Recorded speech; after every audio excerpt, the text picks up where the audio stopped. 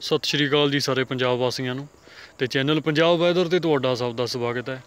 ਸੋ ਮੌਸਮ ਦੀ ਜਾਣਕਾਰੀ ਅੱਜ ਗੱਲ ਕਰਦੇ ਆ 5 ਅਕਤੂਬਰ ਸਵੇਰ ਤੋਂ ਲੈ ਕੇ ਸ਼ਾਮ ਤੱਕ ਪੰਜਾਬ ਮੌਸਮ ਵਿੱਚ ਕੀ ਕੀ ਹਲਚਲ ਹੋਣ ਦੇ ਸਾਰ ਨੇ, ਤਾਜ਼ਾ ਅਪਡੇਟ ਤੁਹਾਡੇ ਨਾਲ ਸਾਂਝੀ ਕਰਨ ਲਈ ਹਾਜ਼ਰ ਹੋ ਗਏ ਆ ਤੇ ਸਭ ਤੋਂ ਪਹਿਲਾਂ ਜੇਕਰ ਹਵਾਵਾਂ ਦੀ ਗੱਲ ਕਰੀ ਤਾਂ ਪੰਜਾਬ ਵਿੱਚ ਲਗਭਗ ਆਪਾਂ ਨੂੰ ਪੱਛਮੀ ਹਵਾਵਾਂ ਹੀ ਜ਼ਿਆਦਾਤਰ ਖੇਤਰ ਵਿੱਚ ਦੇਖਣ ਨੂੰ ਮਿਲਣਗੀਆਂ ਤੇ ਜਿਨ੍ਹਾਂ ਦੀ ਰਫ਼ਤਾਰ 5 ਤੋਂ ਲੈ ਕੇ 15 ਕਿਲੋਮੀਟਰ ਤੱਕ ਵੱਖ-ਵੱਖ ਇਲਾਕਿਆਂ ਵਿੱਚ ਹੋ ਸਕਦੀ ਹੈ।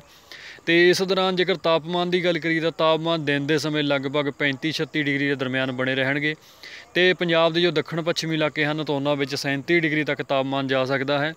ਤੇ ਰਾਤ ਦੇ ਘੱਟੋ ਘੱਟ ਤਾਪਮਾਨ ਦੀ ਗੱਲ ਕਰੀਏ ਤਾਂ ਉਹ ਆਪਾਂ ਨੂੰ 20 ਤੋਂ ਲੈ ਕੇ 19 ਡਿਗਰੀ ਦੇ ਦਰਮਿਆਨ ਦੇਖਣ ਨੂੰ ਮਿਲੂਗਾ।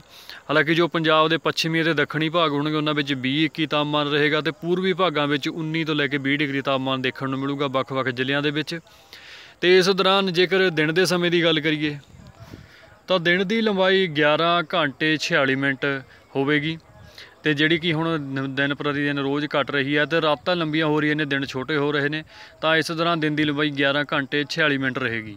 ਤੇ ਸੂਰਜ ਚੜ੍ਹਨ ਦਾ ਸਮਾਂ ਹੋਵੇਗਾ 6:21 ਮਿੰਟ ਅਤੇ ਸੂਰਜ ਦੀ ਪਹਿਲੀ ਕਿਰਨ 5:57 ਮਿੰਟ ਤੇ ਦਿਖਾਈ ਦੇ ਜਾਵੇਗੀ। ਤੇ ਇਸ ਦੌਰਾਨ ਲਗਭਗ ਸਵੇਰ ਤੋਂ ਲੈ ਕੇ ਸ਼ਾਮ ਤੱਕ ਪੰਜਾਬ ਦਾ ਮੌਸਮ ਆਪਾਂ ਨੂੰ ਜ਼ਿਆਦਾਤਰ ਖੁਸ਼ਕ ਦੇਖਣ ਨੂੰ ਮਿਲੂਗਾ, ਸਾਫ਼ ਰਹੇਗਾ, ਚੰਗੀ ਧੁੱਪ ਖਿਲੀ ਰਹੇਗੀ ਅਤੇ ਕਿਸੇ ਵੀ ਇਲਾਕੇ ਵਿੱਚ ਲਗਭਗ ਮੀਂਹ ਪੈਣ ਦੇ ਸਾਰ ਨਾ ਮਾਤਰ ਹੋਣਗੇ। ਮੌਸਮ ਪੰਜਾਬ ਦਾ ਇਸੇ ਤਰ੍ਹਾਂ ਹਲਕੀ ਮੱਠੀ ਹਵਾਵਾਂ ਦੇ ਨਾਲ ਖੁਸ਼ਕ ਬਣਿਆ ਰਹੇਗਾ। ਸੋ ਅੱਜ ਦੀ ਇਸ ਵੀਡੀਓ ਵਿੱਚ ਇੰਨਾ ਹੀ। ਸੋ ਲਗਾਤਾਰ ਮੌਸਮੀ ਅਪਡੇਟ ਲਈ ਚੈਨਲ ਪੰਜਾਬ ਵੈਦਰ ਨਾਲ ਬਣੇ ਰਹੋ। ਧੰਨਵਾਦ ਜੀ।